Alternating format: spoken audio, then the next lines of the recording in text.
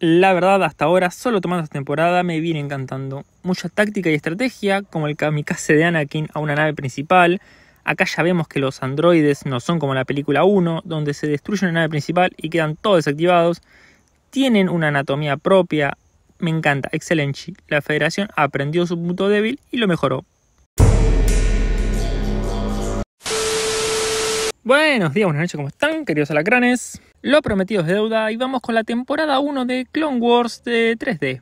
Ya había hecho un videito antes mencionando algunas preocupaciones, principalmente que son Ventres y Maul. Eh, en el caso de Ventres, que rompe la regla de 2 Sith, algunos me comentan que esto se aclara más adelante, pero hasta donde voy, para mí es una Sith. Y que este tipo siga vivo, que sé que es así porque lo veo en la portada de Clone Wars, solo me hace pensar en cosas malas, por lo que espero que la excusa para que haya sobrevivido sea buena. Comer una naranja es como llevar un buen matrimonio. ¡Ya cómete la maldita naranja! Bien, arranquemos. La temporada empieza con una misión del maestro Yoda, donde nos muestra su sabiduría al tratar con los clones, también lo despegado que está, porque juega con Ventres, pasamos a unos episodios de El Malevolencia, una nave potente de la Federación, encargada a Gribus por el Conde Dooku, que termina siendo destruida por la República. Padme, junto a Jar Jar y Citripio, capturan al virrey. Esta Padme es la de los dos primeros episodios de las películas. Esta es la que me parecía tremendo personaje y parece que es la que vamos a ver en esta serie. Tenemos la aparición de otros Jedi como Plo en el avance hacia el malevolencia, me gusta el detalle que sea buen piloto, porque después ahí es como lo pasan para el otro lado. Vemos a la maestra Luminara, que en la custodia del virrey se enfrenta junto a Soka a Ventres, finalmente perdiendo al virrey. Vemos a Fisto intentar capturar al virrey junto a su antiguo Padawan, pero el virrey no estaba ahí. El conde Duco aprovechó la situación para poner a prueba a Gribus, que andaba mal con su desempeño en materia de bajas de Jedi, Gribus termina con el aprendiz de Fisto, pero este último, tras ser acorralado por la guardia de Gribus, escapa. Cabe aclarar que Fisto le iba ganando poco a poco a Gribus, me parece coherente, no como el Fisto de la serie 2D que no tenía ningún tipo de sentido lo roto que estaba. Que le pueda hacer frente a Gribus y lo supere, aunque sea por poco, puede coincidir como para que le haya aguantado dos cruces a Darth Sidious después. Azulcita, que la verdad no me gustó mucho, pero es ruda. Ahora entiendo por qué le siguieron disparando y disparando en la Orden 66. Tenemos bastante de los clones, tanto en episodios enteros para ellos, como participando en los que los Jedi son los principales. Esto me faltaba. Me gusta ver la parte táctica y que nos muestren el resultado del entrenamiento que tuvieron aplicado al campo de batalla ya que en las películas nos saltamos por completo pasando del episodio 2 al 3. Tenemos dos capítulos enteros básicamente dedicados a la importancia de Arturito. Sí, le voy a llamar Arturito, me parece divertido hacerlo. La verdad me gustaron, pero se me hicieron un poquito largos. Creo que capaz que se podría haber hecho en uno, pero está. Tenemos negociaciones políticas en donde hasta nos muestran la importancia de los androides de protocolo, el poder hablar todas las lenguas y ser intermediarios sacándonos a relucir a Citripio, son pequeñeces quizás, pero van alimentando un universo y dándole dimensión a la guerra. Lo mejor de esta temporada para mí es Ahsoka. Nuestra querida Sabionda en esta faceta de adolescente rebelde, la vemos renegar con su maestro Skywito, pero después busca la forma para cuidarlo y asegurar su supervivencia.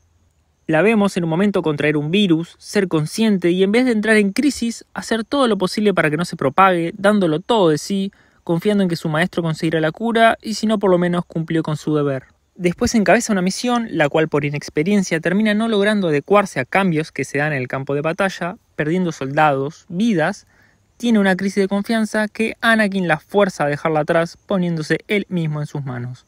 Vuelvo a insistir que para mí ella tiene la personalidad y la inexperiencia precisa que se precisaba para ser la Padawan de Anakin. Lo de Ventres espero su desarrollo. Son varias temporadas. Estimo que en algún momento le dedicarán algunos episodios donde nos explicarán cosas que me están rechinando, como de por qué tanto odio hacia los Jedi, cómo es que sabe usar la fuerza o de dónde salió, y que nos expliquen bien por qué no es una Sith, como me comentan en los videos que hago. No lo sé, me parece que no debería ser todo teorías. Solo eso pido, que lo expliquen claramente en la misma serie. Me parece correcto que se le haya dado una victoria por lo menos, si no quedaba como la que siempre perdía, además que enfrentó a una maestra y la llegó a dominar, así que bueno, no 100% bien, pero va marchando. Anakin correcto, fiel a su personalidad, es lo que podríamos esperar de él en este periodo que no vimos en las películas, teniendo una Padawan a su cargo. Lo mismo para Kenobi, aunque tengo que decir que este Obi-Wan me parece mejor que el de las películas. Yo había hecho un video tratando el asunto de si fue un buen maestro para Anakin sí o no. En la película, antes de la temporada 1, hace un jueguito para que le asignen a Ahsoka. Ya me parece como maestro de Anakin mucho mejor porque Ahsoka mejora a Anakin. En la serie se muestra más humano, no tan estricto, llegando a debatir con Anakin y apoyándolo, viéndolo emocional y no regañándolo por serlo, sino intentando aclarar la situación para ayudarlo. Así sí, pa. Sigo de acuerdo con lo que comenté en ese video, ya que fue solo tomándolo de las películas, pero bien, la serie promete. Hello there. Encarando el final de la temporada, tenemos una misión a Railo, un planeta de estos seres.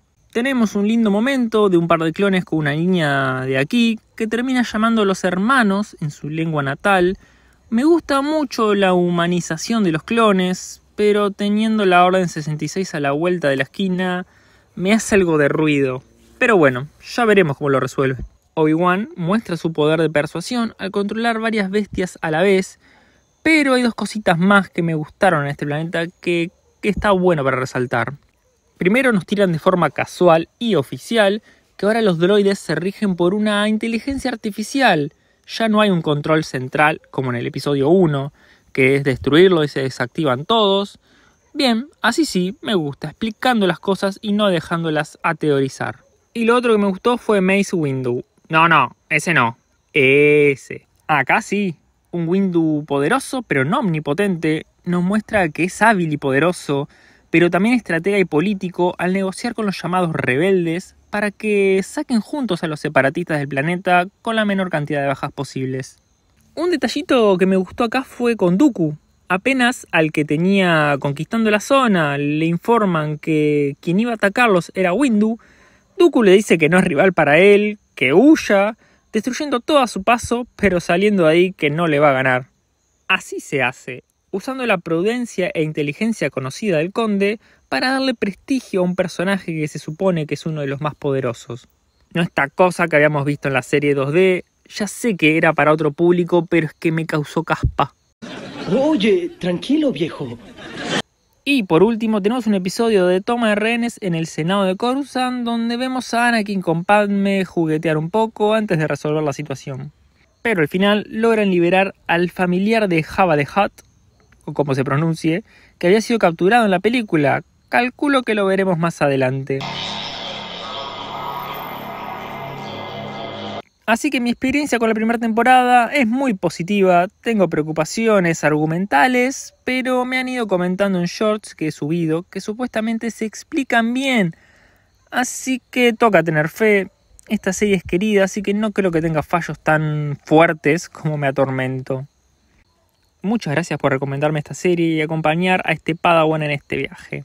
Me ayudarías mucho con un like y una suscripción si es que no lo estás. Nos vemos en un próximo video. Chau chau.